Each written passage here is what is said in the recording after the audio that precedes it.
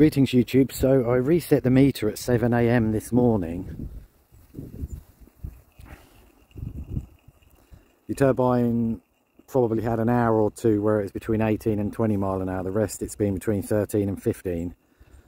So that ends up at nine and three quarter hours since I reset the meter, so we'll go see what the meter's saying. Just out of interest, the sand is very warm. Whoa, it's hot. Let's deal with this first. So it's made 2.27 kilowatts. It's made 2.27 kilowatts since 7am this morning, which is nine and three quarter hours. I'm not saying that's any good or anything, but just honestly saying what it's made.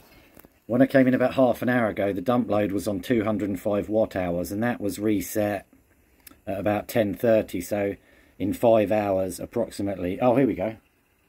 Oh, perfect timing. There you go. Look, so in five hours, that's put 304 watt hours to the dump load. So that's put 304 watts to the dump load in five hours approximately. Uh, that is that doesn't get added on to the 2280, so the power the turbine's made is that.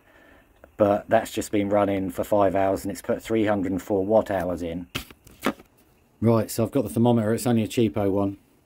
But the ambient temperature is 14 degrees and the sand 36 70 a bit closer. 84 by the dump load. So that is definitely working I'm very pleased to say.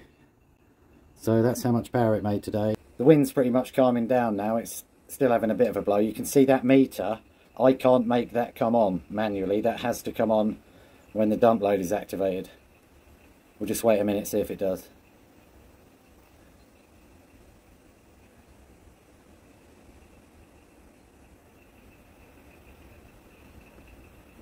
There you go.